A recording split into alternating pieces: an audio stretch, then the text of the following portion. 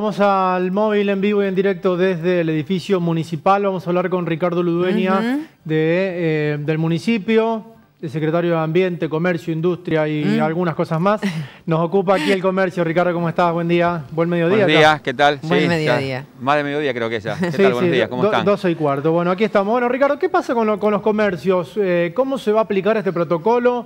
¿Va a haber algún tipo de contemplación con el tema del horario o se tiene que hacer sí o sí horario corrido? No, vamos a tener que hacer el horario corrido, tal cual dice Ajá. el protocolo. Es para tratar de mantener en estas sucesivas flexibilizaciones cierto control y un cierto orden. Porque si vos te pones a pensar, Joaquín, eh, viste que antes se habían autorizado los delivery, eh, el trabajo cerrado de los comercios. Y bueno, la idea general es, le sugerimos a los comercios que bueno, abran sus puertas, por supuesto respetando el protocolo, de 8 a 16 horas. Y aquellos comercios que tenían el delivery lo pueden continuar haciéndolo. Es Ajá. para no eliminar actividades, inclusive que les sirva de un complemento a lo que ya van a empezar a hacer a partir de hoy. Bien, ¿cómo se va a hacer el control? El control, bueno, ahí estaba la parte de Secretaría de Gobierno con Walter Raca, eh, ya estableciendo la metodología. La verdad que yo no lo sé, pero sí va a ser un seguimiento más eh, continuo, digamos, eh, sobre cada una de las actividades de los negocios. En general, tampoco hay que ser tan, tan drástico. Cre- digamos, confiamos en la responsabilidad de los comerciantes, por supuesto, en esta actividad. Eh, bien, Ricardo, ¿qué expectativa tiene por allí el municipio? Porque obviamente esto, si bien en la parte de economía no, no, no es tu área, pero me parece que también está puesta la, la expectativa en tratar de mejorar la recaudación, digamos que la economía de a poquito se pueda ir moviendo, ¿eh? un pasito atrás de otro, eh, y la economía de la ciudad también tiene que ver con la economía de- del municipio de allá. Claro que sí, lo que sí sabemos es que es un proceso, va a ser muy lento. Va a ser muy lento porque por más que el negocio abra y tenga la posibilidad de, ofrecer su mercadería a los clientes, bueno, hay que ver cómo responde los ciudadanos, digamos. Eh, y esto, digamos, si bien flexibiliza, es mucho mejor que esté así los comercios, eh, yo creo que va a ser lento el proceso de reactivación. Por lo tanto, va a ser lento, eh, digamos, a ver cómo decirte, acá en el municipio ver alguna mejoría en lo que es la recaudación impositiva, si una Sí, cosa claro. lleva a la otra. No te olvides que ya van casi dos meses en donde el sector comercial estuvo prácticamente Sí, sí, no, no, cerrado. y bueno, eso sí o sí va a influir y de hecho ya bueno, el municipio ha tomado medidas que es- ya Gabriel estuvo dándola a conocer, porque bueno, realmente está muy complicado todo el tema de las cuentas del municipio. Eh, Ricardo, ¿este protocolo invalida el protocolo anterior? Digamos, lo reemplaza por completo. Aquellos comercios que ya podían abrir a la mañana, tenían, tenían delivery hasta las 7 de la tarde, creo que era de 4 a 7 el delivery. ¿Queda sin efecto ese protocolo? Se, se complementan, inclusive este lo fortalece, eh, porque la base hay algunos puntos clave del protocolo en donde hace hincapié, por supuesto, en el distanciamiento social, la medida de protección individual Sí. hacia el cliente, hacia el vendedor, hacia el negocio. Eh, así que no, no, no, no, no lo invalida, solamente lo fortalece y por ahí contempla algunos aspectos que antes no. O Eh, sea que te estaba diciendo. Los comercios podrán abrir de 8 a 12 como lo, lo- lo venían haciendo. Exacto. Y a la tarde tienen hasta las 7 de la tarde para hacer el delivery. Para hacer El la delivery entrega. sí, inclusive ahora el negocio que antes estaba de 8 a 12 puede hacerlo de 8 a 16 horas Claro. y después continuar con el delivery. Bien, o sea que bueno, es una posibilidad de tener este, el, el Claro. comercio abierto, lo cual está bueno. Eh, tener muchas horas el negocio abierto significa que si uno tiene, a ver, 15 posibles potenciales clientes para ese día, se puedan desparramar, si se me permite el término, se puedan Sí, sí, distribuir, digo correctamente, exacto. exactamente, Ah. claro, disculpen, este, en toda la franja, la- la- en una franja horaria mayor también. Exactamente. Le damos ¿Eh? posibilidad para que no haya aglomeramiento de gente, digamos, que se concentre demasiadas personas y tiene más posibilidad inclusive en todos los negocios, ¿no es. En todos los rubros. Eh, acordate también que ya hay muchas actividades flexibilizadas desde el principio de la cuarentena, toda la parte de las cooperativas, todos los negocios relacionados con el campo, los mismos productores, agroquímicos, todo. Así que la idea justamente es que tenga, digamos, la opción de ir a los negocios en una franja horaria bastante interesante.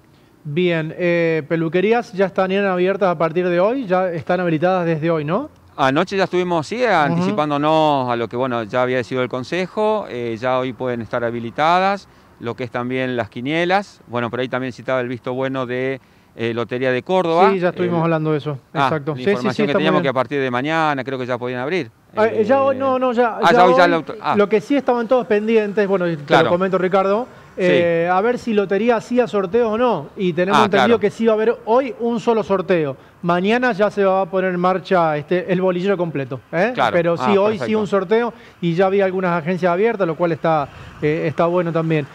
Bueno, ¿qué, qué actividades quedarían entonces que todavía no pueden, no pueden abrir? Las que todavía no queda, o sea, que no tiene una flexibilización, es todo el tema de gimnasio, Gimnasio. cosmetóloga, ¿qué otra más? Ah, inmobiliarias como tal no están habilitadas la actividad, sí está habilitado aquella persona profesional que es corredor inmobiliario.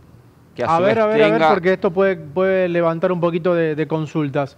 Sí, La inmobiliaria en sí misma no está habilitada. no está habilitada. Viste que hay algunas personas que tienen inmobiliaria, eh, no, no son profesionales los dueños ni los que lo abren, bueno, no está habilitada como tal.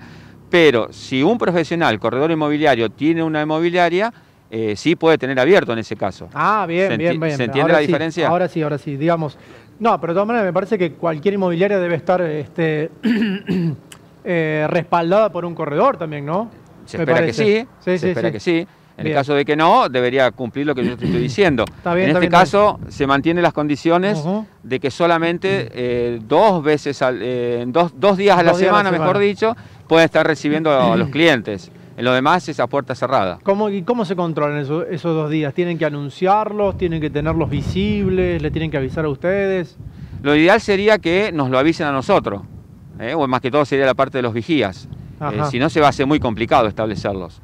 Lavade- ¿Lavaderos? ¿Qué pasa con los lavaderos? Porque no están, a ver, no están prohibidos. Significa que ya están permitidos porque en las excepciones de estos comercios no esenciales, que les, Mm. dan, les dieron la oportunidad, la posibilidad de abrir, no están exceptuados. ¿Están Sí, no, al no- abiertos?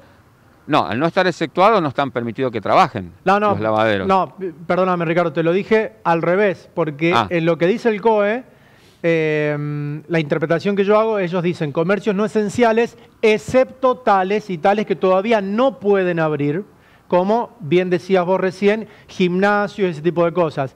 En Sí, esas excepciones, cosmetólogas, en esas excepciones no dice lavaderos, por lo cual uno interpreta que la actividad del lavadero es una actividad comercial y que podría estar este, habilitada. En ese aspecto Bueno, yo me refería. que Desde el punto de vista comercial, claro, no habría ningún problema eh, para, para que trabajen. Eh, de hecho, creo que algunos ya, ya lo estaban haciendo. Se les pide en ese caso las mismas condiciones. ¿eh? Bien.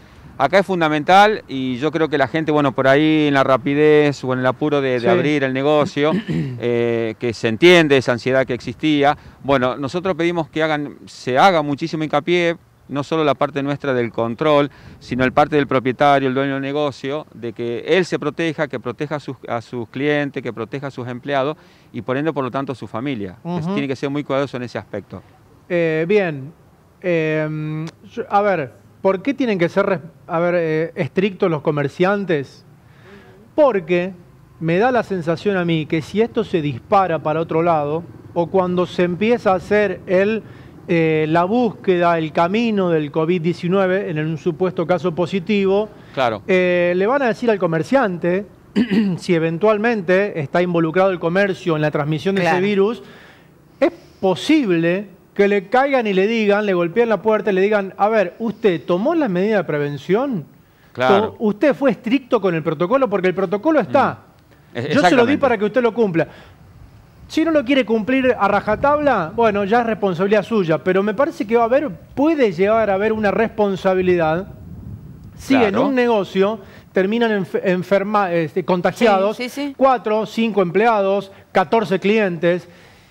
Ojo con eso, ¿eh? O sea, Sí, además- Hay que ser muy cuidadoso, muy Además, cuidadoso. eh, no hay que olvidarse acá las, las posibles consecuencias que nos traiga, Dios no quiera, un caso positivo de una marcha atrás generalizada No, para no, toda además, la ciudad. sí. Seguro, sí, sí, sí, Eh, por seguro. eso uno prefiere insistir sobre esta actividad, ser precavido, tener todas las precauciones necesarias, justamente Bien. para evitar esto. Y la mejor forma es haciendo lo que dice el protocolo. Bien, perfecto. No nos queda otra.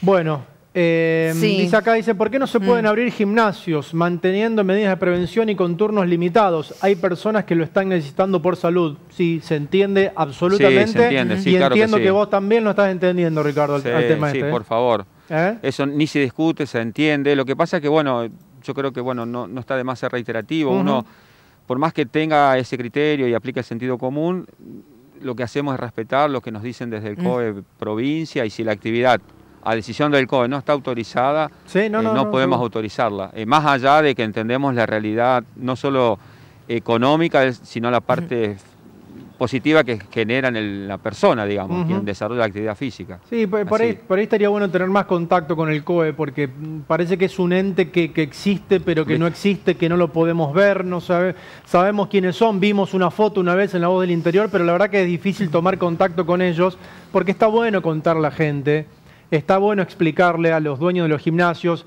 mira, no se puede por esto, esto y esto, porque no se le está dando demasiada eh, información a aquellos que no pueden trabajar. Los muchachos de los lavaderos hace 15 días que están preguntando, ¿y por qué yo mm. no? ¿Y por qué yo no? Y también, honestamente, ni nosotros ni ustedes le pueden dar la explicación. Y el COE, la verdad que no, no, entendemos que trabajan y todo, está, está, está perfecto y lo están haciendo creo que muy bien porque Córdoba, dentro de todo, está bastante bien pero estaría bueno tener un poquito más de, comunicación. Bueno, no, pero ¿por qué no? Tratemos de darle un poquito más de información a la gente, porque me parece que los va a dejar un poco más tranquilos. Sí, sí, una expectativa. sí. sí. Eh, también el tema de las empleadas domésticas es una pregunta constante y todavía no están habilitadas. Tampoco están habilitados. Oficialmente todavía no, desgraciadamente todavía. Y hay un sector muy importante de nuestra sociedad, que es la gente que es del empleado doméstico, ¿no es cierto? Bien. Por ahora son las limitaciones que tenemos nosotros, digamos. Bueno, eh, eh, a ver, no descarta que en las próximas horas, días, sí, porque esto está, muy dinámico, está muy dinámico, lentamente y en pocos días ya se están flexibilizando nuevas actividades, ojalá que todo siga así.